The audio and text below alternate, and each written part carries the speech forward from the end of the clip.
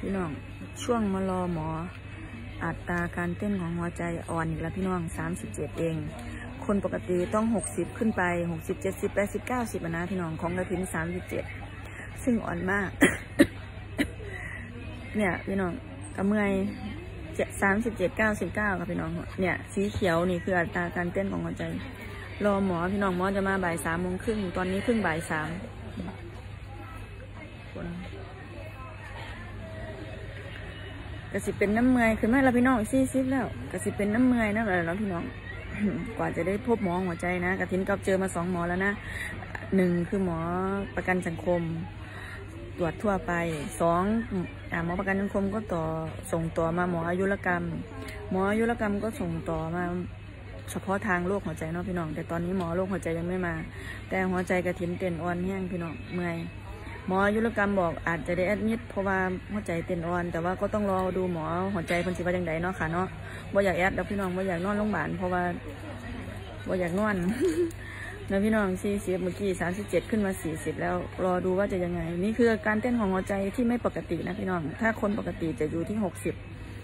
อ่าเป็นต้นไปหกสิบเจ็ดอ้าวเห็นไหมพี่น้องมันสวิงเห็นบ่สี่สิบขึ้นมาเจ็ดสิบเก้านี่คือการเต้นของกระถินที่บ่ปกติเดี๋ยวขึ้นเดี๋ยวลง เลยทำให้เหนื่อยเนี่ยพี่น้องดับไปแล้วเห็นบ่เห็นบ่นี่คือการเต้นที่ไม่ปกติเจ็ดสิบเจ็ดสามสิบเจ็ดเอ้ยอันนี้เจ็ดสิบสามเจ็ดสิบสามพี่น้องอืมนี่แหละ หลายคนบอกว่าหัวใจเต้นไม่เป็นจังหวะเป็นยังไงเป็นยังสี่ละเด้อพี่น้องเนี่ยเห็นมอมันจะวิ่งลงมาหกสิบเจ็ดละบาทนี้ มันเป็นแบบไม่ปกติ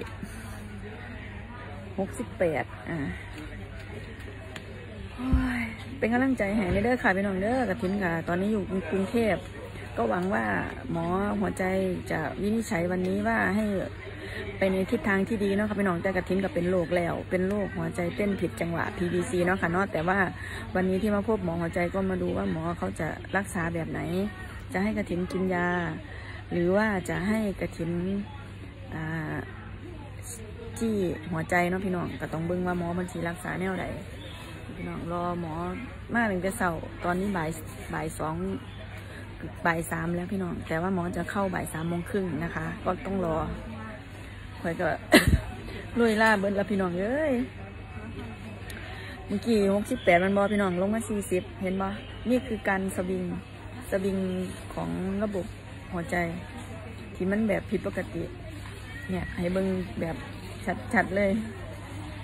มือขึ้นนี่มือขึ้นนี่มากนำไฟ มากับรถไฟสามสิบเอ็ดพี่น้องสามสิบเอ็ดพอมาเล่าให้หมอประกันสังคมฟังหมอประกันสังคมอบอกเลยว่าสามสิบเอ็ดนี่คือน้อยมาก น้อยมากอาจจะได้แอดมิดเพิ่นวาสิเนาะพี่น้อง แต่ทั้งหมดทั้งมวลนี้รอหมออาโรคหัวใจก่อนเด้อพี่น้องอกระถินฟังพยากรณ์บานก่อนเพิ่นเบายังอ่า โอเคเด้อพี่น้อง แค่นี้ก่อนค่ะ ขอบคุณค่ะ